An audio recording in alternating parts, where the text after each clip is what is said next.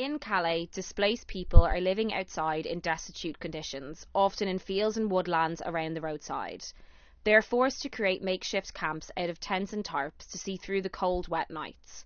On top of this, they are subjected to disrupted and often aggressive police clearances on a regular basis. But what is a police clearance? The clearances are carried out by the Police Nationale, CRS, or Gendarmerie, along with members of the Prefecture, cleaning agents, and sometimes police aux frontières. They form a perimeter around a settlement and then enter the perimeter, forcing everyone to evacuate the area, leaving people with very little time to gather their belongings in shelters. Clearances usually take place in the early hours of the morning, often whilst the state breakfast distribution is taking place, forcing individuals to choose between getting food or keeping their belongings. This obviously creates a sense of anxiety amongst the communities, with many reporting constant stress as they never know when the police are going to come to take their shelter in tents.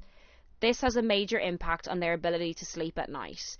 In a survey by Refugee Infobus carried out in August 2018, 57% of respondents stated that they slept less than 4 hours a night and 75% less than 5 hours.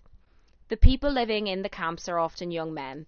However, we are seeing an increasing number of families with women and young children who have experienced varying degrees of trauma and isolation as a result of fleeing their homeland for a better, safer life. The stresses that come with being homeless and displaced have a major impact on the mental health of these people.